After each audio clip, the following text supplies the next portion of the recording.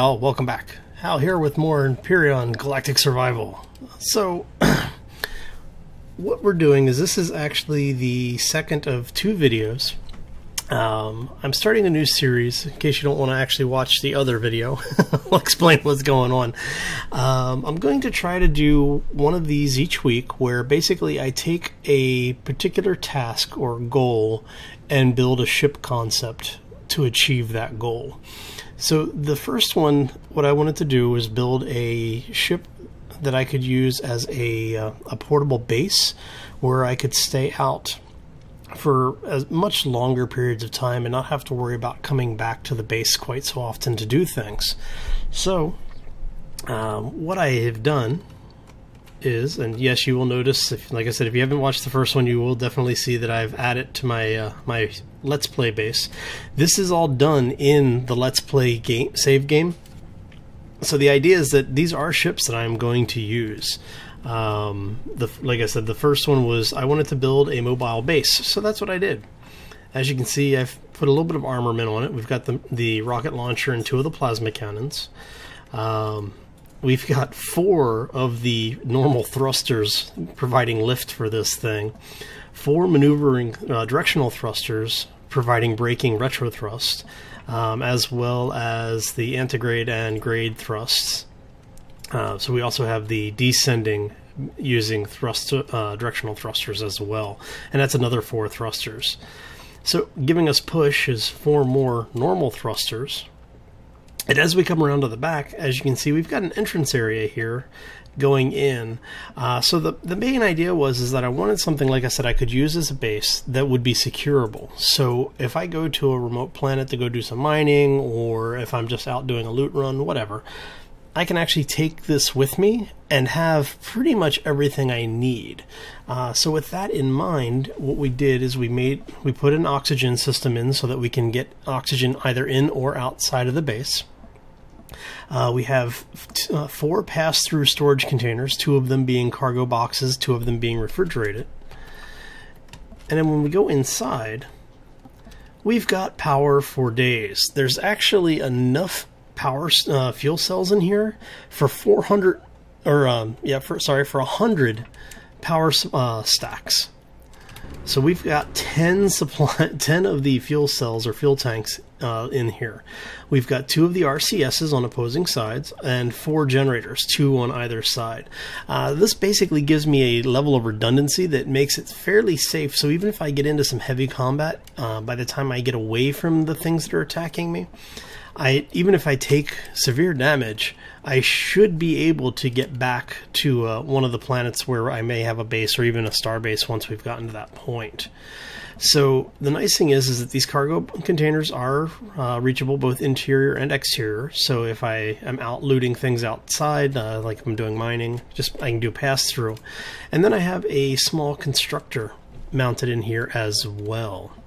Uh, so yeah, I can actually refine resources, go out, harvest more stuff, and keep rinse and repeat, and just keep running it through the cycle. Um, once I've processed everything, we've got abundant storage. There are 420 storage slots.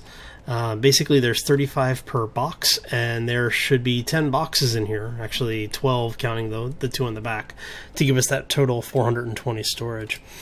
Um, we also have four of the refrigerator storage blocks, which gives us a total of 56 storage units there for refrigerated storage.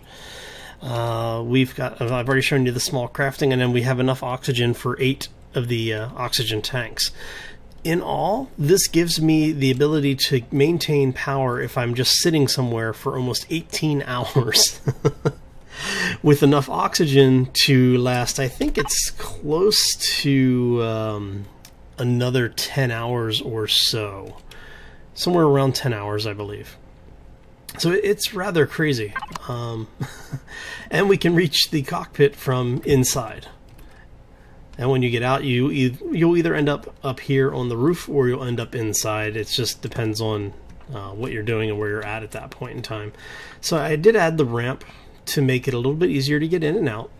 And uh, yeah, I mean, this thing handles like a dream. It is amazing how well this thing actually ended up handling.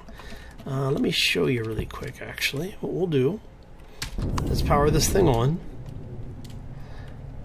And as you can see, we've got light all over the place. If you happen to be in the back when this thing is powered on, it is bright, and I mean blindingly bright. So as you can see, we've got a good amount of lift here. It handles fairly well. It's uh, a little bit more responsive than the escape pod. As you can see, because of the amount of RCS and uh, thrusters on this thing, it handles pretty well. The, uh, its orbital rotation, eh, I would I wouldn't mind it to be a little bit better, but for a dropship slash remote base, it's fairly Im impressive. And am I being shot at, or is that just debris? I think it's just debris. Let's see.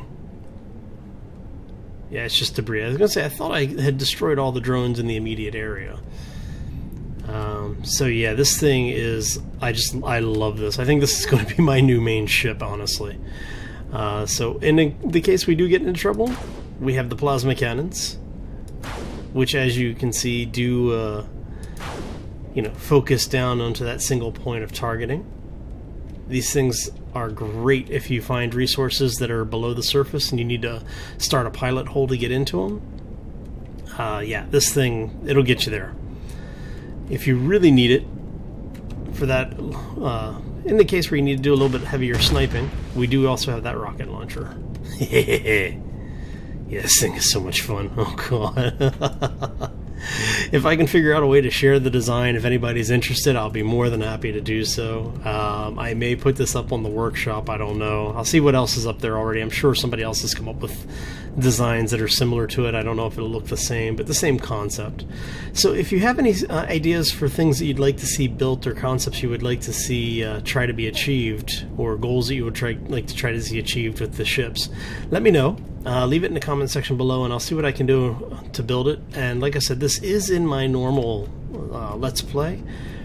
So I am using the same resources that I need to survive with, and I used a lot of resource on this. Um, I think I used almost a stack of iron uh, ingots by the time everything was said and done because I had to make all of the parts. And then just to show you just how fuel efficient that thing is. So flying around, firing the weapons a couple of times. I think it's this one, right? No, it's one of these fuel tanks. Let's see if we can find which one it's draining here. I think it's this one? Yeah. So all of that only took four of our power cells. Um, yeah, it's it's just it's nuts. It's so much fun. Oh god. All right. So, um, yeah, thanks for stopping in today. I appreciate it. I hope you enjoyed this. Uh, like I said, this will be, I'm going to try to do this at least once a week. Uh, it does, it was a lot of time invested in building this thing, so I may not be able to do it every week, but I, I will try. Um, and you will get two episodes for this each time I do one. You'll get the reveal and show, which is what this episode is, and you'll also get the uh, starting on it to show what the what my basic concept is and some of the early build process. Because of the length of time, and I don't really want to do the time compression, I will if you if everyone's interested in it. Um, but for the most part, what I'll do is just show you what I'm planning on and show you the parts that I'm working with, just so you know ahead of time basically what I'm trying to get into that ship and into that build. So, with that said, thank you all for stopping in. If you did like this episode and you want to see more, make sure you hit that like button. If you haven't done so already, I do uh, ask that you subscribe, simply because of the fact that not only does it help the channel grow, but it also helps keep you informed on when new stuff comes out and when I do new, sh- new shows like this. So, uh, yeah, if you do have any suggestions, questions, comments, any feedback on the ship or the design you saw here, hey, leave it in the comments section below. That's what it's there for. let's let's let it do its job.